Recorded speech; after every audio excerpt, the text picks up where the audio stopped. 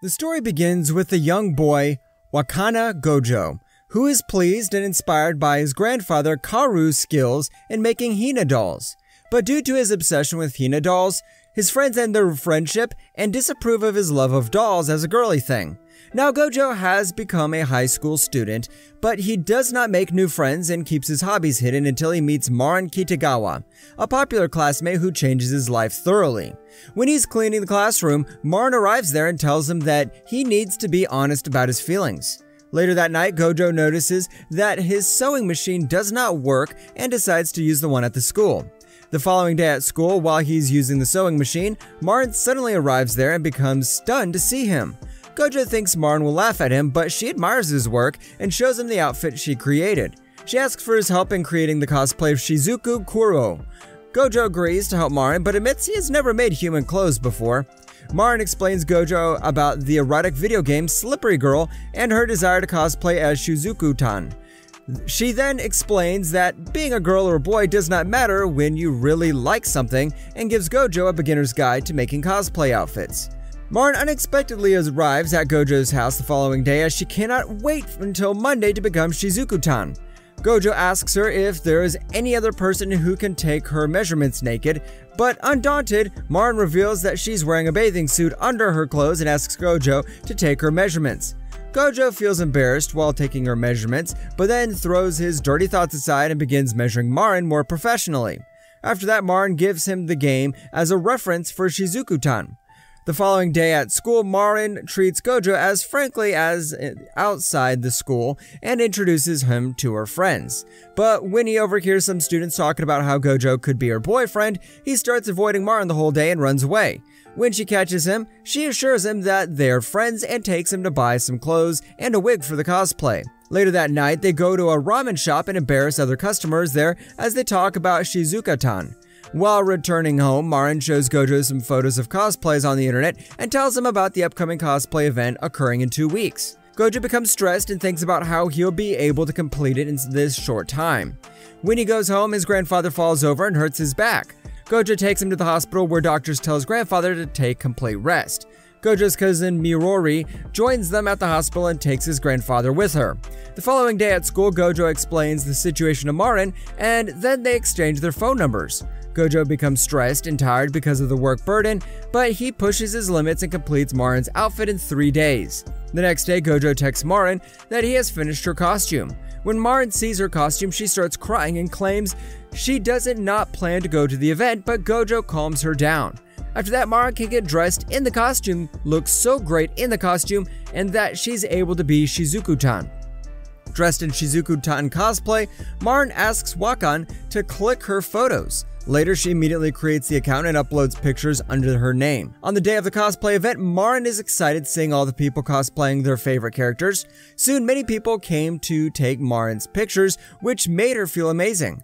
After the photographs, Marin told Wakan that she was sweating a lot. Wakan takes Marin to a nearby building and offers her cool patches and a towel. On the way back home, Wakan compliments Marin that at the event she was looking beautiful, which astonishes Marin as he only compliments beautiful if he likes something by heart. Marin washes Shizuku-tan wig at Wakana's house. When his grandfather arrives home, he becomes shocked to see Marin standing behind Gojo.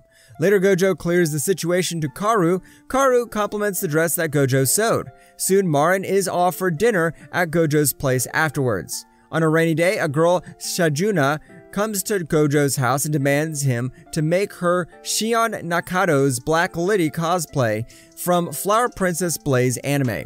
However, Gojo agrees to prepare the cosplay. Marin's proposal to perform a group cosplay is turned down by Juju until Marin and Gojo agree to divide the studio expenses. Later that night, Gojo's grandfather compliments him on his progress and encourages him to work with Marin on his tailoring and cosmetics talents. Gojo comes to Marin's place the next day, where he finds her disheveled, making Gojo all shy and red. Marin realizes she's on a home date with Gojo while watching the series together. Her stomach grumbles at this point and Gojo offers to make something for her. After returning home, Gojo contacts Juju and sends her his comprehensive designs. She reveals about her younger sister who takes her pictures. They agree to meet at a restaurant before they hang up.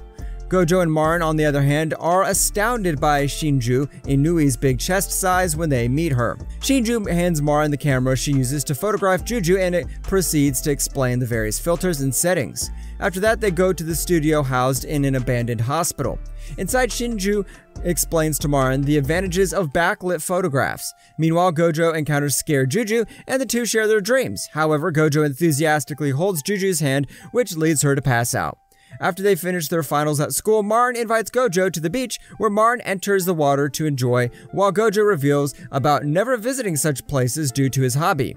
Marin invites him to take him further to such sites, while later she swoons about the situation before going to take a picture of Gojo. Gojo and Marin return from the store with the black lobelia costume materials. Marin then shows Gojo a bikini she's wearing underneath her clothing and asks whether he thinks it's appropriate for the cosplay, which embarrasses Gojo. Later, Gojo presents Juju and Marin with their finished outfits before taking them to the hospital for the picture shoot. Shinju stuns the girls with a male cosplay outfit when they eventually arrive. It is revealed in the flashback that at the first day in the hospital, on Gojo's concern, Shinju confesses she also wishes to cosplay as Soma, a male character from Flower Princess Blaze. Gojo tried everything he could to make her appear like Soma, and he succeeded, surprising everyone and leading them to shoot photographs with delight. Marin and Inui, sisters, do their picture sessions in the hospital.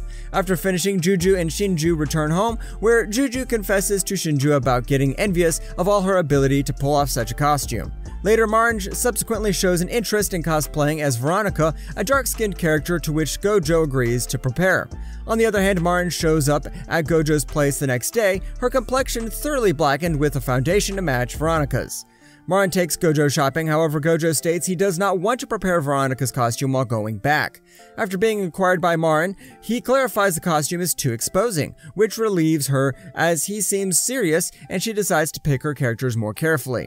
Gojo is invited to a manga cafe by Marin, but he is embarrassed to be alone with her. Marin recommends Sukaidike to Gojo while passing the time and expresses her desire to cosplay as Liz, the succubus. Later, Gojo discovers the studio where Marin scheduled the picture session is actually a love hotel. Marin ends up sitting on top of Gojo while reenacting several manga positions. When Gojo tries to get Marin off of him, he grips her wrist instead, creating an awkward situation. When Gojo returns home and is alone in his room, he sobs over the entire incident.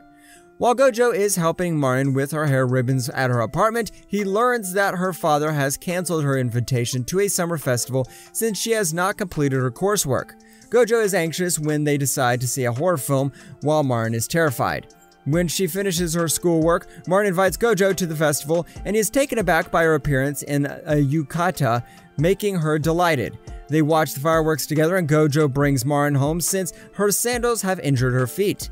Marin calls Gojo from home because she is afraid after viewing another horror film. Gojo begins to fall asleep during the conversation, and when Marin notices that he's dozed off, she tells him that she loves him, and it all ends up with Marin going to sleep with happy and calming expressions on her face.